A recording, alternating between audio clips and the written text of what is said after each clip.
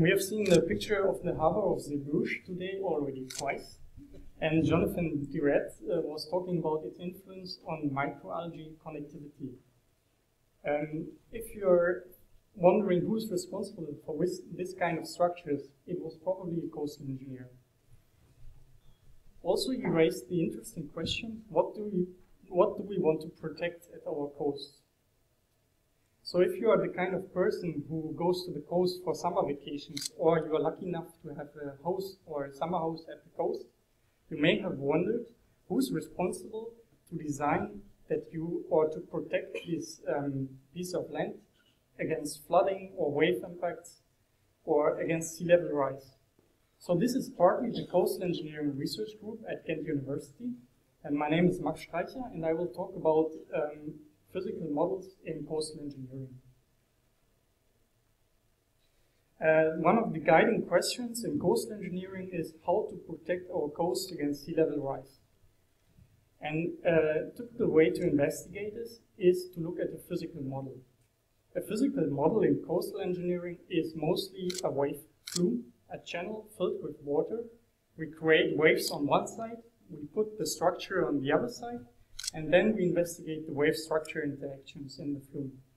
So a wave flume can be used to monitor the processes, to vary parameters in a controlled environment, and to produce insights in a rather cost-effective way. If we consider the scale effects and the model effects right, we create similarity, which means that we have the same processes and governing equations in reality as in our model. Let me give you a practical example. The WALOWA experiments, the acronym stands for wave loads on walls, were conducted at our department. And it's basically the same situation my colleague Vincent Covet described earlier, with a, with a long beach, with a dike, a promenade, and a wall in the end. And we want to know what are the impact forces on this wall. So we decided to go for a large-scale physical model, and we put a lot of sand in one of the largest wave flumes of the world on the upper right picture, and equipped this flume with a lot of measurement devices to measure the water surface elevation, to measure the impact pressures and the direct force response of the wall. And the device highlighted in the green circle on the upper right will be discussed later. Let's have a look at one of the tests. So here you see the waves which are generated on the other side of the flume. They travel over the beach, they break, and then they overtop the dike and create this clap against the wall. And this is definitely what you don't want for your summer apartment at the coast. So our aim is now to uh, observe these processes which are happening there and to apply the latest measurement technology to measure these processes.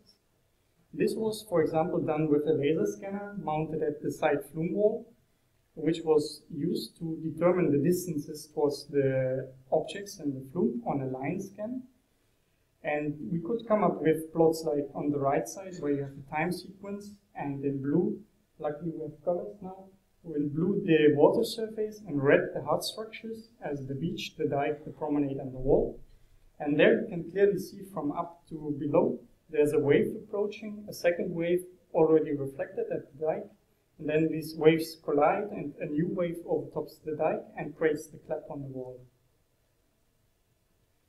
With this kind of data sets, we are able to come up with process models to link our wave patterns or bore patterns, how we call a bro bro broken wave, to certain impact types at the wall.